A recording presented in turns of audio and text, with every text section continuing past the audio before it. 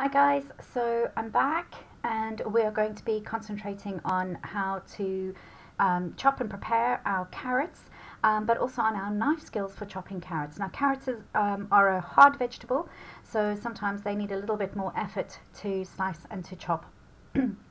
One of my pet hates um, and obviously guys remember I'm concentrating on keeping your fingers safe and that is my primary concern. Um, and it drives me insane when um, people start chopping and they chop off the tip and then they turn it around, they flip it around and they chop off the leaf side as well. Now the leaf side is very important just like the onion, okay? That is your little hold for your to keep your fingers safe. You're going to throw that piece away anyway, so why not have it serve two functions um, and that is to keep your fingers safe um, and also to keep your carrot or your vegetable together like in the onion. So you're going to get rid of the tip and have your bowl ready and you are going to simply peel your carrots all the way around. Now one of my little tips um, for beginners is to make sure that you always have a flat surface to chop on because when the vegetable rolls it makes it unsafe for your fingers. So just take your peeler and on one side of the carrot just peel an extra one or two lines. You can use that carrot. So just pop that into your bowl of the carrots that you're going to keep. But now you have a flatter edge on one side so that when you put your carrot down it doesn't um, roll quite as easily. Right guys, so in this video we are going to be using this worksheet which is also on knife skills but it's concentrating on the different cuts. So round, baton and cube. You are going to place uh, each type when you've cut it you're going to place each type on your worksheet so that you can take a picture of it afterwards. Now we're going to um, start with the carrot and please remember you're not taking off the leaf end because that's going to be your little safety for your fingers. Now there are various ways in which you can cut your carrots. So I've got rid of the tip of my carrot and now I'm going to do rounds which is the easiest way of slicing a vegetable. You can do this with any long vegetable so cucumbers, parsnips, um, carrots, anything that's shaped in this way. So remember to hold your knife properly and you are going to again do a sliding motion to cut your carrots. Now I rest the point of my blade um, on my board and I lift my knife and then I use my fingers as my guide. So my knuckles as my guide. Now remember guys, if your fingers are behind the blade, you can't cut them. So please make sure that you're using claw grip. You're going to use your knuckles as a guide as to how big you want your slices and you're going to keep your fingers behind your blade, especially your thumb because that's the one that most people forget about.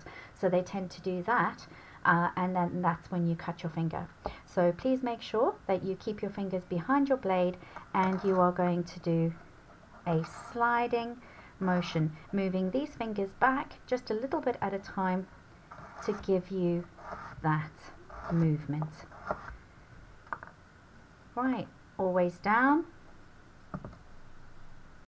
Right, and then you're going to place some of those carrots onto your worksheet to show that you know what round is. Now the next cut that we're going to do is we are going to cube or dice.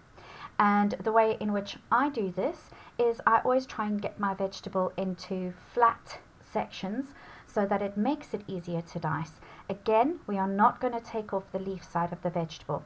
We are simply going to place our knife where we want our cut. Again, with a hard vegetable, if it's easier, pop the knife, uh, the tip of the knife against the board, hold your vegetable and then when you push down, push down with a lot of control, holding your knife correctly. Right, so I've made one cut. I'm then going to make a second cut. Depends on how big your carrots are, guys. If your carrot, if you've got smaller carrots, you may only have to divide them up into, into half. So now we have a flat edge on every slice of carrot that we have, which is going to make it much easier to chop because when we put them down, they're not going to move. The middle section of the carrot is actually the easiest to dice. Um, and also remember, I have not removed the leaf section of the carrot. So now what I'm going to do is I'm going to decide how big or small I want my carrots.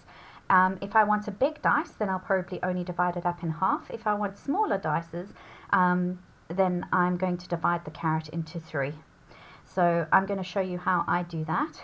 And again, to uh, keep the carrot together, I actually don't chop it all the way through. I just slice through. I'm going to do big dice today, right? And that keeps my carrot together. I'm going to pinch it together and remember I'm going to use claw grip and I'm going to keep my fingers behind the blade. And I'm going to use a sliding motion trying to keep my carrots an even size. Now that becomes important when you are trying to make sure that your vegetables cook at the same time because you want all your carrots to be ready at the same time. You don't want some really big pieces and some small pieces because they're not going to cook evenly. Some of them are going to take longer if they are bigger.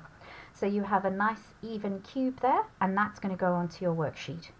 Right, and the last cut that we are going to do with our carrots today is we are going to do batons, like carrot sticks, guys. Um, and when I see people buying carrot sticks in, in stores, um, I just want to tell them it is so easy to make your own and much cheaper. So when you have the carrot, you're going to cut it in exactly the same way. This is a big carrot, guys, so I'm going to probably cut this one in four. Right, and then be careful on the last one because it has a tendency to fall over.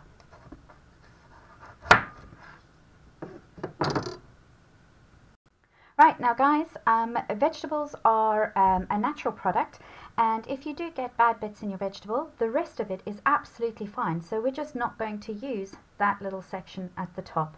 But I'm going to show you how to do batons now. So get a nice section of your carrot um, so that you can make your batons.